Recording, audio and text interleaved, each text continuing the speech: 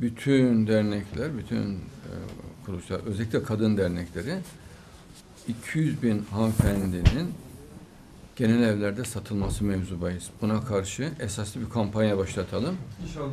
Genel evlerde kardeşlerimiz, hanım kardeşlerimiz kalmasın. İnşallah. Türk Müslüman evlatları bunlar. 200 bin kişi bakın bir günde 75 veya 150 kişi arasında insanlar işe giriyorlar. Özellikle hanım dernekleri bu faciaya dur desinler. 200 bin kadın bak yüzde sekiz vergi alınıyor bu kadınlardan. Ve ruhen bedenen mahvoluyorlar bu insanlar. Yıl on binlerce insanlar ilişkiye giriyorlar ömürleri içerisinde. Yazık günah. Yazık günah. Tedbir alalım. Bu hanım kardeşlerimizin evlenmesini sağlayalım. Güzel yuva kurmalarını sağlayalım. Çoluk çocuk sahibi olmalarını sağlayalım. Bunların da ailesi var, anası babası var. Yazık günah. O kapıyı kapat yavrum. Fuhuş haram. İslam'da açık bir hüküm.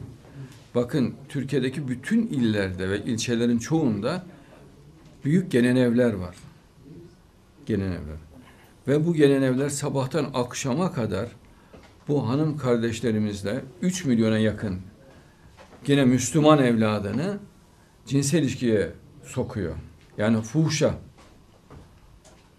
Bu felaketi eğer durdurursak bu Türkiye'ye bereket getirir, güzellik getirir, hayır getirir.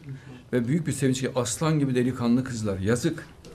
Bak 200 bin evladımız, hanım evladımız. Kadın dernekleri bu konuya el atsınlar lütfen. İnşallah. Bu konuda mutlaka beyanatta bulunsunlar, açıklamada bulunsunlar. Büyük bir sevinç kaynağı olur. İnşallah. O hanım kardeşlerimize ev alalım, iş bulalım, evlendirelim. Bu felaketin önüne geçelim. İnşallah. Yazık günah. Kur'an'da açık açık belirtilen haramdır. Fuhuş.